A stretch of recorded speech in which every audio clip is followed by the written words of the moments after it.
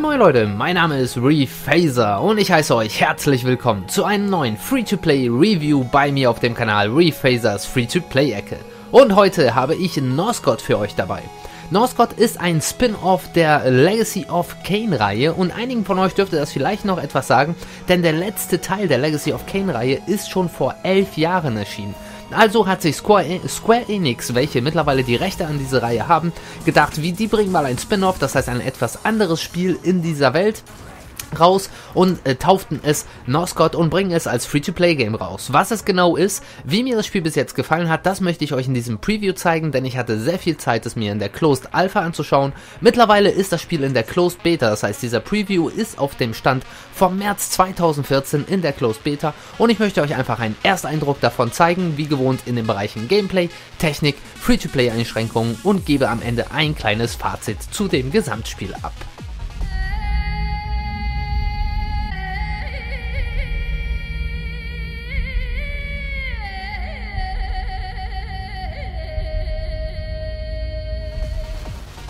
Die erste Frage, die sich im Gameplay-Bereich von Norscott direkt stellt, ist, was ist es eigentlich für ein Genre? Denn Norscott ist in meinen Augen eine Mischung aus einem Third-Person-Shooter und einem MOBA. In Nosgod seid ihr nämlich aus der dritten Perspektive unterwegs in relativ kleinen Maps. Euch stehen dann entweder als Mensch oder Vampir neben euren ganz normalen Attacken auch zwei unterschiedliche Skills und ein Perk zur Verfügung. Aus diesem Grund finde ich, haben die es geschafft, beide Spielgenres relativ gut zu vermischen und etwas Neues, zwar nicht ganz Innovatives, aber doch Erfrischendes zu erfinden. Aktuell bietet Norscott insgesamt vier Maps und zwei Spielmodi. Die Spielmodi sind dabei zum einen Team Deathmatch, aber dieses ist nochmal in zwei Team Deathmatches unterteilt. Einmal ein Newbie Team Deathmatch bedeutet, bis Level 10 dürft ihr dort eintreten, ab Level 10 nicht mehr und ein normales Team Deathmatch. Dort tretet ihr in Teams von jeweils vier Spielern an und wer zuerst 30 Kills hat, gewinnt die Runde. Dann wird geswitcht, das heißt die Fraktionen werden gewechselt. Ihr werdet dann entweder zum Vampir, wenn ihr vorher Mensch wart, oder an halt andersrum und dann geht es nochmal darum, 30 Kills zu holen. Insgesamt stehen euch für jede Runde 10 Minuten zur Verfügung. Zweiter Spielmodus ist Siege und dort geht es darum, verschiedene Punkte einzunehmen. Ich würde euch gerne etwas dazu zeigen, aber es war für mich während der Close Beta gerade nicht nochmal möglich, in diesen Spielmodus einzutreten, aber ich muss auch wirklich zugeben, dass es egal war, worum es ging, letztendlich lief es sowieso darauf hinaus, dass sich alle Spieler gegenseitig getötet haben und nicht wirklich die Punkte eingenommen haben.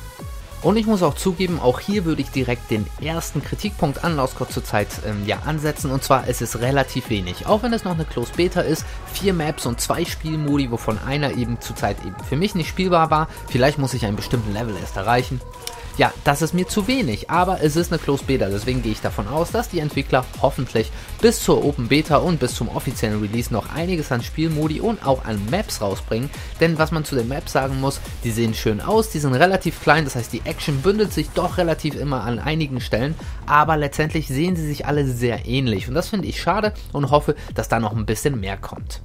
Aber ich muss auch gestehen, auch wenn es relativ wenig an Maps und an Spielmodi sind, so machen die Klassen und das, was hinter Nosgott steckt, doch sehr viel Spaß und laden auch dazu ein, öfters und länger zu spielen. Was meine ich damit? Es gibt ja zwei Fraktionen. Zum einen die Vampire und zum einen die Menschen. Und was ist die Besonderheit an diesen zwei Fraktionen?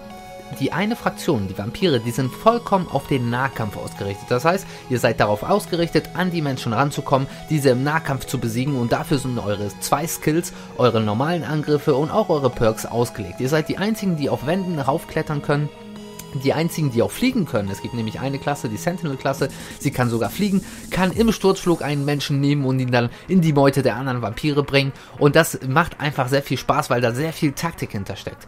Die Menschen hingegen sind reine Fernkämpfer. Das heißt, eure Skills und auch eure normalen Attacken sind darauf ausgerichtet, die Vampire auf der Ferne bereits abzufangen, umzubringen, sie auf die Ferne zu halten. Und das macht sehr, sehr viel Spaß. Deswegen finde ich es auch gut, dass das die Matches dann auch wechseln. Das heißt, dass ihr 10 Minuten als Vampir und 10 Minuten als Menschen unterwegs seid.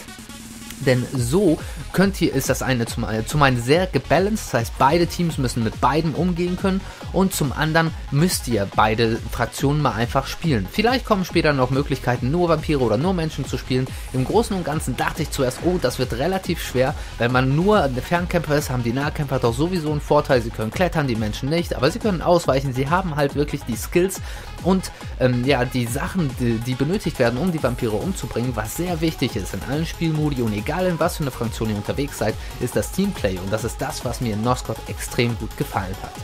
Wo wir gerade bei den Fraktionen sind, können wir auch direkt über die Klassen sprechen, denn jede Fraktion hat unterschiedliche Klassen, die auch wirklich für ein Teamspiel un ungemein wichtig sind. Zum einen fangen wir bei den Menschen mit dem Scout an. Der Scout war in meinen Augen ein etwas wirklich sehr, sehr ähm, starker Fernkämpfer, der im Nahkampf aber so gut wie keine Chance mehr hat.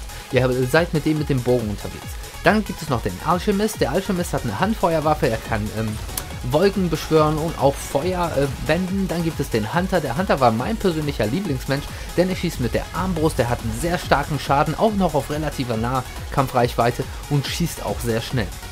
Bei den Vampiren haben wir so eine Art so eine Art heilige Dreifaltigkeit, denn ihr habt da zum einen den Tyrant, welcher ähm, für mich eine Art Tank ist, denn er kann rammen, er kann extrem viel aushalten, er geht in den Nahkampf und schleudert die Gegner weg. Ihr habt den Reaver, was nur so eine Art Schurke ist, welcher aus dem Hinterhalt angreifen kann, welche große Sprünge machen kann, um den Gegner direkt anzugreifen. Und ihr habt den, den bereits genannten Sentinel, welcher als einziger Vampir fliegen kann und somit auch aus der Luft einfach mal die Gegner ja im Sturzflug sich greifen kann und in die Meute der Vampire zurückbringen kann. Wenn alle Klassen richtig gespielt sind und als Team vorgehen, dann kommt da einfach eine sehr, sehr coole Eigendynamik, die extrem viel Spaß macht. Neue Klassen sind bereits angekündigt und was richtig geil ist, ihr könnt jede Klasse einzeln leveln und auch noch an eure Spielweise richtig gut anpassen. Zu den Anpassungen werde ich in dem Free-to-Play-Bereich wahrscheinlich ein bisschen mehr sagen, aber hier grundsätzlich jede Klasse kann einzeln gelevelt werden. Das heißt, ihr bekommt Erfahrungspunkte für euren Level im Allgemeinen und für die einzelne Klasse, sogar für die einzelne Fraktion. Dann habt ihr zwei verschiedene Skills und einen Perk, welcher ihr einsetzen könnt für die Klasse. Das heißt, ihr könnt euch verschiedene Loadouts, wie man das so nennt, zusammensetzen. Diese zwei Skills könnt ihr aber auch im Shop für die Ingame-Währung kaufen und so aussuchen, welche zwei Skills eure Klasse hat, die mehr zu eurer ja zu eurer Spielweise passen und das finde ich sehr cool, denn so könnt ihr auch während ihr gestorben seid vielleicht den Loadout wechseln, um euch an eine bestimmte Situation anzupassen und dort taktischer vorzugehen und da finde ich kommt wieder dieser Punkt, Northcott ist ein reines Teamplay Spiel, was mir persönlich sehr, sehr gut gefällt, denn das gibt es einfach zu selten. Also es gibt unglaublich viele Skills, die jetzt schon, die ihr wirklich anpassen könnt. Ihr könnt neue Waffen kaufen, alles für Ingame-Währung finde ich sehr cool, aber wie gesagt, Free-to-Play-Einschränkungen, kommt ein bisschen mehr dazu. Und die Perks sind Sachen wie zum Beispiel, ihr regeneriert euer Leben schneller, Ihr könnt höher springen als Vampir, ihr habt mehr Munition, ihr ladet schneller nach. Solche Sachen, wie man eben auch vielleicht aus äh, Call of Duty kennt. Deswegen heißen die auch sogar in Scott Perks und die finde ich sehr, sehr cool. Also im Großen und Ganzen Gameplay, ich finde einfach nur von den Maps und von den Spielmodi her gibt es leider noch nicht genug Auswahl. Aber das, was da ist, das ist cool, das macht Spaß und das hat wirklich ein hohes Potenzial, auch erfolgreich zu werden.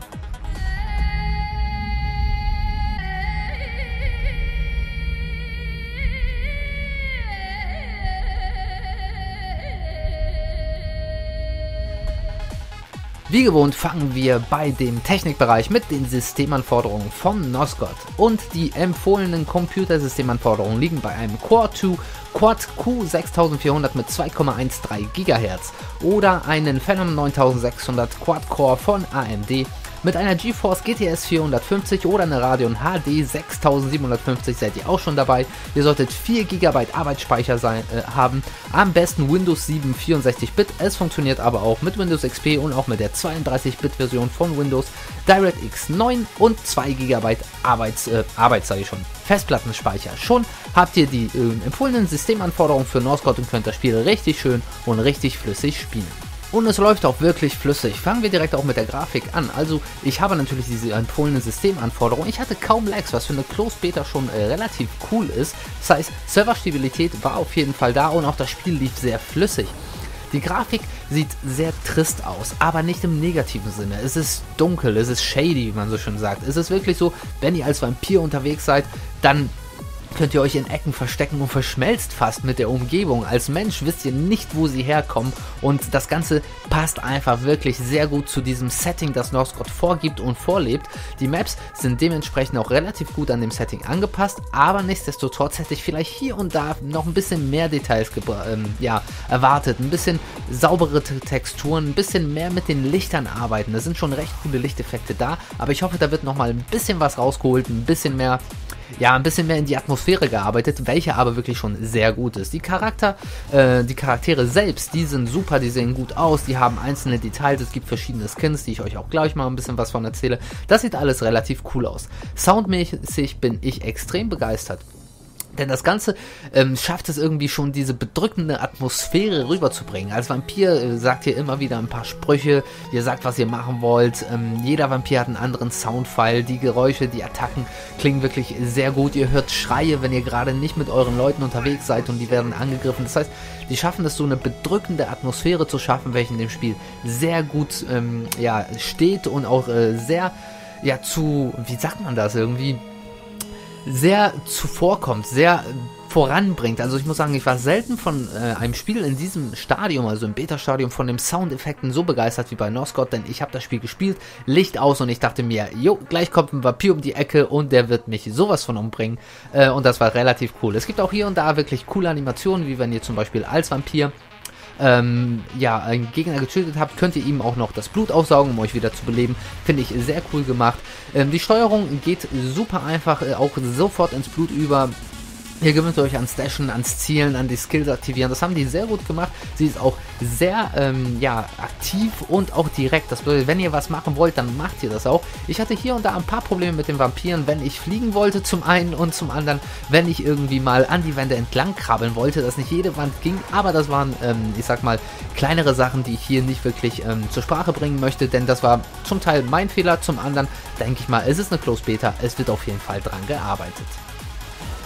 Leider gibt es auch ein paar Kritikpunkte an Norscott und mein größtes Problem zurzeit mit Norscott ist das Matchmaking-System. Natürlich ist es noch eine Closed Beta, das heißt es gibt nur eine begrenzte Anzahl an Spieler, die einen Key haben. Trotzdem ist es schon sehr ärgerlich, wenn ich ein Team Deathmatch aussuche, auf Play drücke und dann mindestens zum Teil eine halbe Stunde darauf warten muss, dass ein Match zustande kommt. Das ist einfach kontraproduktiv, da werden viele Spieler sich nicht gefallen lassen, wenn sie auf Level 1, Level 2 keine Matches finden und wirklich warten und warten und warten und vielleicht noch ein bisschen mehr warten, während sie ihr Spiel deinstallieren und es nicht weiterspielen. Ich habe es beim Panzer schon gesehen, das äh, hat das Spiel leider doch ein bisschen zurückgeworfen, hat äh, viele Spieler weggehen lassen dass dieses Matchmaking-System nicht vernünftig funktioniert hat. Und ich hoffe, dass Noscott da einfach ein bisschen noch nachsorgt, vielleicht durch die Open Beta, wenn mehr Spieler da sind, oder auch die Möglichkeit bietet, eigene Matches zu erstellen, Freunde einzuladen und mit diesen dann zu spielen. Wenn sie das schaffen, dann glaube ich, wird es auf jeden Fall besser sein.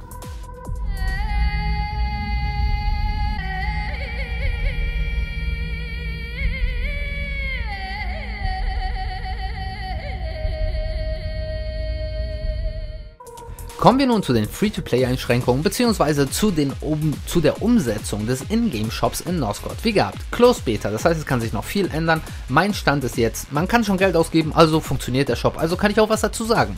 Grundsätzlich hat Noscott oder die Entwickler Square Enix haben gesagt, hey, wir machen ein Spiel, das wird nicht Pay to Win. Und ich denke mir, ja, das höre ich bei jedem Spiel, was Free-to-Play ist. Und leider, leider, leider ist es so, dass viele Spiele dem natürlich nicht nachkommen und vollkommene Abzocke sind. Ich muss aber auch sagen, bei Noscott habe ich das Gefühl nicht. Ihr könnt euch im Ingame-Shop so ziemlich alles kaufen. Bedeutet, ihr müsst die Skills kaufen, ihr könnt euch neue Waffen kaufen, ihr könnt euch natürlich die ähm, ja, alltäglichen und äh, alltagsgebräuchlichen Boosts kaufen für XP, für Gold. Aber das könnt ihr auch fast alles für Ingame-Währung kaufen. Das heißt, ihr spielt, ihr farmt euer Gold, dann kauft ihr euch die Skills, dann kauft ihr euch die Waffen, dann passt ihr langsam euren Charakter an. Das heißt, man hat diesen äh, gewissen Level-Fortschritt, diese gewisse Levelkurve drin und das finde ich auch vollkommen vertretbar. Ihr könnt es bei, für beide Währungen kaufen. Bedeutet, wer keine Lust hat, lange zu spielen, der kann sich die Skills direkt kaufen, aber da sind keine Vorteile und das finde ich auch vollkommen okay. Kostet relativ wenig, ihr könnt auch für wenig Euros ein paar Sachen kaufen, was ich mal gut finde. Das heißt, wenn man so ein Spiel unterstützen möchte, wenn man ein bisschen was kaufen möchte, investiert man vielleicht einmalig 10 Euro, kauft sich ein paar Skills, kauft sich äh, halt die Waffe und dann ist es gut. Das heißt, ihr werdet euch dann nicht ähm, dumm und dämlich bezahlen und ihr könnt die Entwickler unterstützen und zum anderen könnt ihr aber auch alles so freispielen. Was ihr nicht freispielen könnt, sind Skins. Das ist wie bei League of Legends, das finde ich auch okay. Nosket bietet schon jetzt schon einige unterschiedliche Skins für die einzelnen ähm, Klassen, sowohl für Menschen wie auch für Vampire und diese könnt ihr euch dann nur für die Echtgeldwährung kaufen und das heißt, ihr seht dann anders aus, habt aber keinerlei Vorteile. Aus dem Grund finde ich es relativ fair, finde ich auch gut, Bin aber sehr gespannt, wie es sich weiterentwickelt, ob es so fair bleibt, ob es nicht so ist, dass ich doch durch einen Einsatz von 10 Euro auf Level 1 die geilsten Skills schon habe und dann äh, doch ein bisschen overpowered bin. Ich hoffe, so ist es nicht, denn die Skills, was ich mir so durchlesen konnte, ich habe mir nicht natürlich nicht alle gekauft, nur ein paar, um sie auszuprobieren. Die klangen jetzt nicht OP, sondern die passen einfach vielleicht besser zu meiner Spielweise wie andere Skills. Und das finde ich ist, okay, ist gut und auch fair. Vielleicht seht ihr das anders. Ich persönlich finde, es ist immer eine gelungene Mischung und bei Spielen, wo es um Spieler gegen Spieler geht, ist es immer relativ schwer, die Balance zu finden zwischen Pay to Win und Free to Play bzw. Fair. Und ich finde, Noscott ist da auf jeden Fall auf dem richtigen Weg. Es wird sich aber natürlich erst bei Release oder in der Open Beta zeigen, inwieweit man sich Vorteile kaufen kann oder nicht. Mein erster Eindruck ist, fair ist es. Ich hoffe, es bleibt so.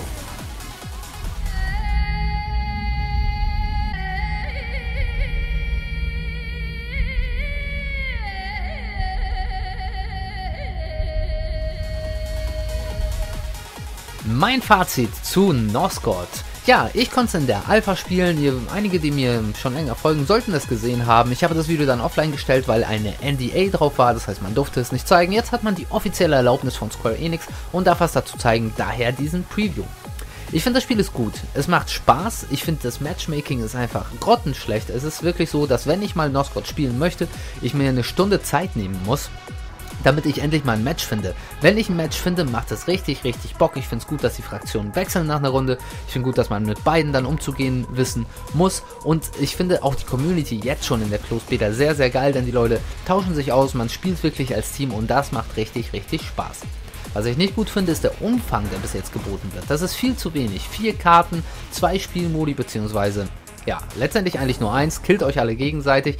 Da hoffe ich, wird auf jeden Fall nachgelegt. Nichtsdestotrotz hoffe ich, dass die Entwickler da wirklich hinterher sind, denn das Spiel hat Potenzial. Es ist mal was anderes, es ist erfrischend und ich hoffe wirklich, dass es nicht untergeht wie Panzer, welcher auch versucht hat, ein bisschen MOBA zu sein, in 3D ein bisschen andere ja, Wege zu gehen und es nicht ganz geschafft hat, bis jetzt in Europa Fuß zu fassen. Und ich drücke Noscott wirklich beide Daumen. Ich werde das Spiel auf jeden Fall weiterverfolgen und kann euch nur empfehlen, kommt ihr einem, einem Beta-Key, spielt es ruhig, es macht wirklich Spaß und spätestens zur Open Beta solltet ihr euch das Spiel anschauen anschauen.